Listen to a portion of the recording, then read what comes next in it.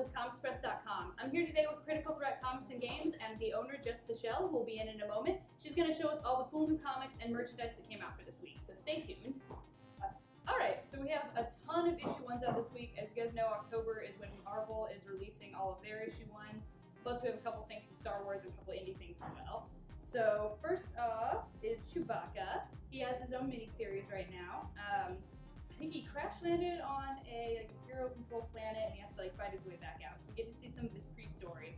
Um, that's gonna be really cool. Can you do your Chewbacca noise? um,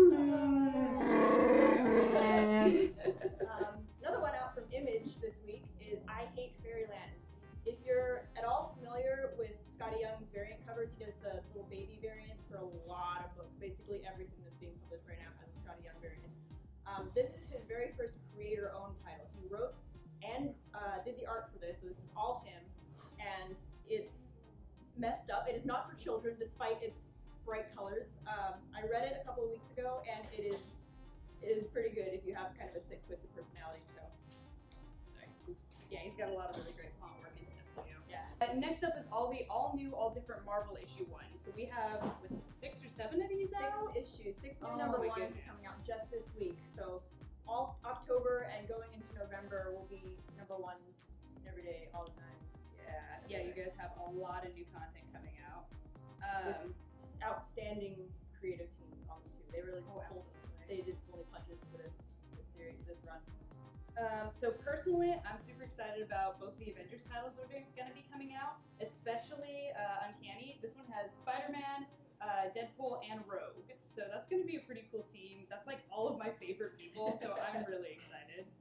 Um, also, uh, Gerry Duggan is writing it, so we're going to get all the all the humor. But we looked at like an interview that he did. Some pretty like intense emotional sequences too. So I'm super looking forward to it. Um, also, just whoop, Ewing's on the New Avengers, um, so it's gonna be pretty cool.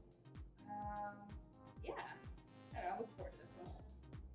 Squirrel Girl's on that one. She's on cover. Oh yeah, Squirrel Girl. There we go. I'm like trying to look, and I'm like, oh, the art is Like, I recognize most of those characters, Right.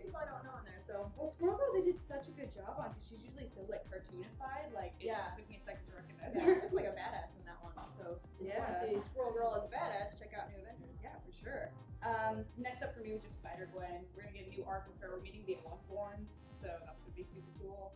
Yeah, everybody loves Spider-Man. Right. I just want to see what like alternate use that alternate universe Harry or Harriet or whatever they do with that is gonna be. And Jason Latour is writing this. Um, Yeah. I've read some of his stuff and I love it. So Yeah, again, powerful creative team. Oh yeah, absolutely. Speaking of powerful creative teams, Brian Michael Bendis on this one. Yeah, I'm super. Yeah. Kitty Pryde too. Oh my Yeah. gosh. Oh my gosh, she's on. Yeah, and uh, Groot looks old and gnarled and scary. Yeah, we don't have like little baby Groots. It's Yeah, gonna it's pretty terrifying. So Guardians of the Galaxy picks up again, great new jumping on point. By the way, all of these number ones are designed to be good jumping on points for new readers. So if you're not familiar with Marvel and you want to jump in for the first time, this is a great place to start.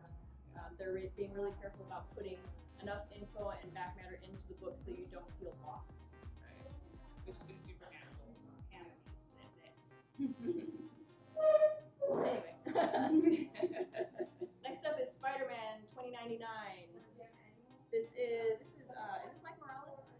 Oh shoot! Uh, no, 2099 is the future. Yeah. That's the So future. 2099 is actually the one that I don't keep up with at all. I know No, it's you really good. Ah, I know it's real good, you guys. Yeah. Um, the fan base is pretty strong. I honestly, I won't lie to you. I don't read it. Yeah, Spider-Man fans, so Finally, Sam Wilson. Captain America Sam Wilson. Um, and I personally kind of dig Sam Wilson, Captain America. He's, he's pretty cool. I love him. Uh, Nick Spencer and Daniel Acuna are on this one. Uh, do you know anything else about it? Um, Sam to me has always been pretty fascinating just because Captain America is really cool, he's really classic, but he's very much just like led about like what he thinks about the world and that's that's it.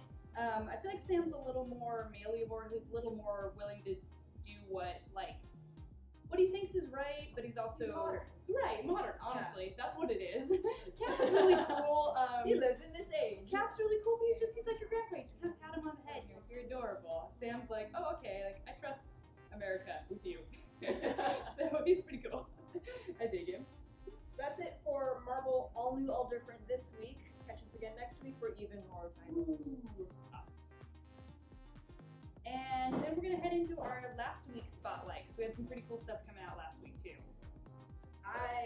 talk about Paper Girls because Brian K. Vaughan is one of my favorite writers out there today, and he's working with Cliff Chiang on this one. And Cliff Chiang's art is just incredible. Um, Matt Wilson's doing the colors. If you read Wicked, uh, Wicked and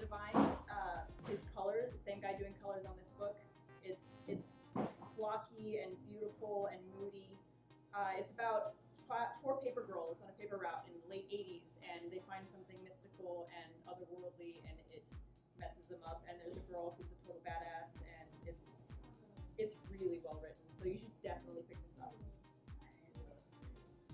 All right, guys, that's it for this week. Thanks to Critical Threat Comics and Jeff Fischel for showing us around and taking us through all the cool new stuff that's going to be out. Uh, real quick, we're going to be showcasing some of the stuff that we have coming in this week that's not comics. So take it away, Jess. We have a lot of new pops coming in from some pretty hot series. Um, we've got the Nightmare Before Christmas pops coming in. We have Pumpkin King. Uh, I know we have Sally uh, and a couple others, I think.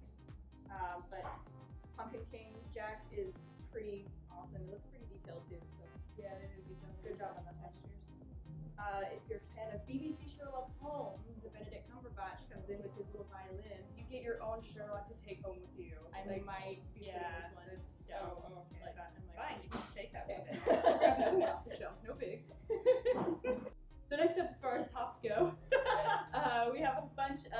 Arkham Knight figures. I grabbed two of the villains from Arkham Knights. We have Scare- Scarecrow and Har- Harley Quinn.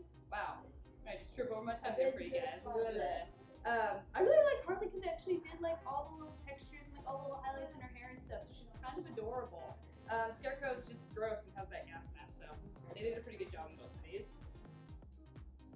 And then If you like soft and cuddly, you get a little zero doll. These Mopeez are adorable. We have a full set of them.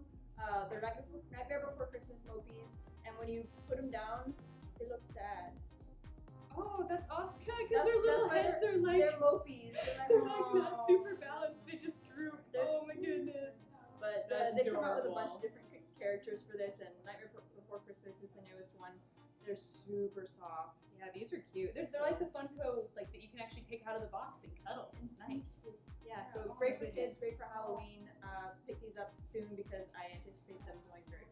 his staying